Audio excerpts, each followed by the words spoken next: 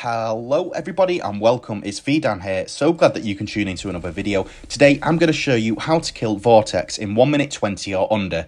With no skill issue like I have and a scuff tier 5, you can definitely do this. You could probably push it down to near a minute. So I'm going to give you kind of all the flavours that you need to do. So for tier 1 we are starting with 4 first strikes and you really want to try and get all ability cooldowns um, on time.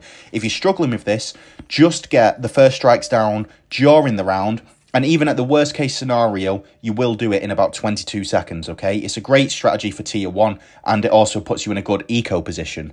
Next, okay, these placements are hard, but I want to give a detailed guide here on how to farm because for you to be able to get an engineer paragon for tier 3, you need to really optimize your farming. This took me a lot of tries, okay? And I've inspired um, my kind of play here from Black Eye Fly's Elite video. So I'm going to give a more less optimal strategy, but one that works really quite well. So the goal is we're going to get two villages down, one far left and then one nudged right to the right of it. Yeah, right next to it, okay? And then you're also going to put another one below it, so we've got three discount villages, and then we can afford the Monkey City with a double discount. You can sell the third village, though, it's not important. What's important is two or three things. One, you can fit a banana farm in the top left.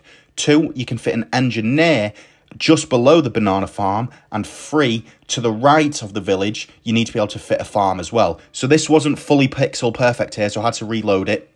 And this is the one that actually works. So we've got our engineer down and then we can fit a farm just above it just about now. It takes a little bit of nudging and wiggling, but it does fit. And then we can also fit one to the right of this. So make sure that you've got these placements set up. The goal here is that we can basically, anything that generates money is in range of a monkey city. We can fit four banana farms in range of this monkey city and the balloon trap.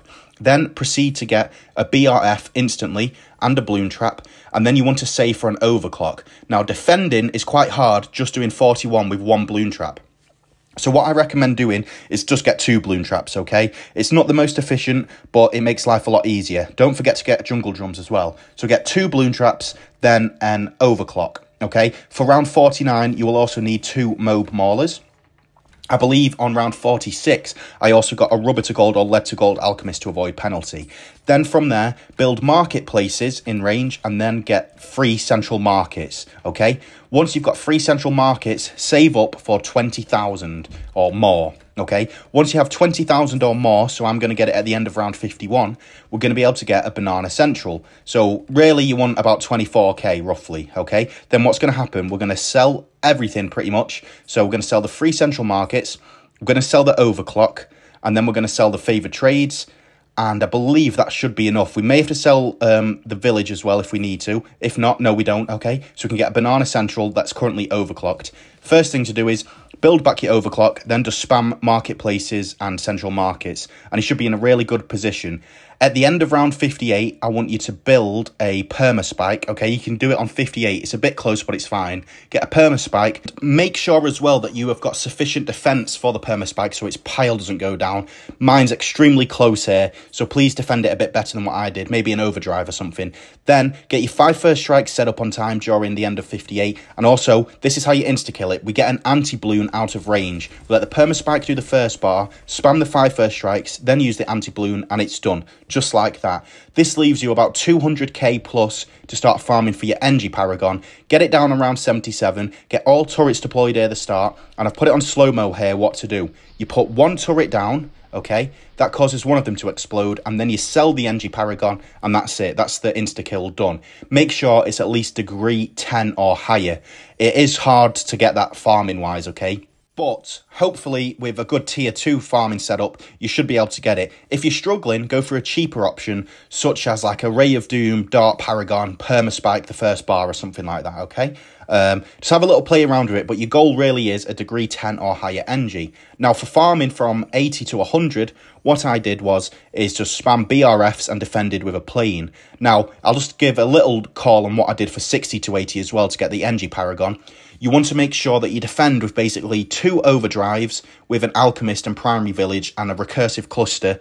Then you need to spam, spam, spam BRFs everywhere and then start spamming overclocks, okay? You've got to be really efficient with your overclocks and then you can get what's called a Special Operations Heli and if you pick up a favour trades with it, it then becomes what's called a Sellicopter um, because you can then start selling towers with the favoured trades buff and you get more cash back. So you'll definitely need to do that, I think, to be really safe to get the engineer. So it is quite skilled. If you're a bit of a casual player, don't worry about it. Just go for like a Dart Paragon, Ray of Doom, like I said.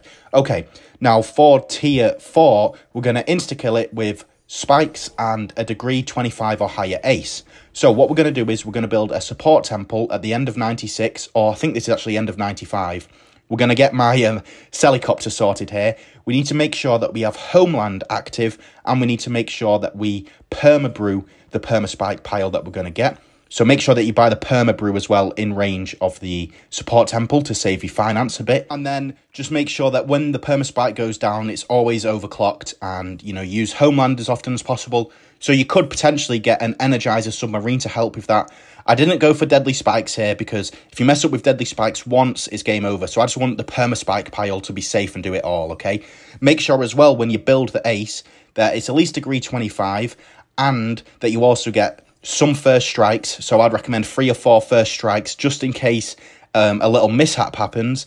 And also make sure you build the ace at the end of 97 so the ability is ready straight away. And he should look like this. So I've got a cripple mob, I've got a glue sorted, three first strikes, and I used an energizer sub to help make sure that we can homeland as frequently as possible. Okay, the perma brew is active on the spike pile and everything looks good.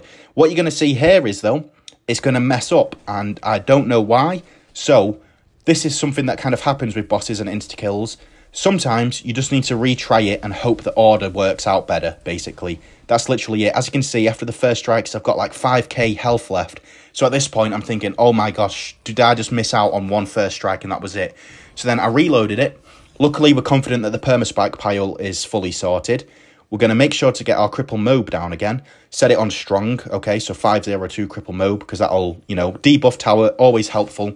Make sure that the permaspikes do the job correctly. And all I did was, I just kind of repositioned the um, bombs so it's a bit more to the left and vertically down. And then I don't know, it just sort of works this time, okay? So sometimes that's what you need to do. You just need to give it another attempt. I don't really know why this one worked and the other one didn't. It's just the ability timings can be very sensitive, especially on Vortex, okay, with its shield. So that's how you insta-kill. Not perfectly insta-kill, it's a bit slow, but that's how you insta-kill um, tier 4 and save your eco pretty good. And then here we go, the holy grail of ruining my runs, tier 5 so I got a degree 40 Engie, degree 40 ace, degree 38 dart, but I built the Engie a tiny bit too late, um, which is super frustrating, okay? So to get these degree 40s, all I did was from 100 to 116, I defended with just a balloon trap and ace plane, okay? Make sure it was homeland buffed, and that did all of it. So you want to accumulate at least 2 million pops on both an engineer and a plane to get them to degree 40. And then because of this, it's just fully scuffed, basically. Um, also, my eco wasn't the best here, considering how good I'd kept it throughout the game. I kind of just, you know, let my foot off the gas at the end, which is really unfortunate.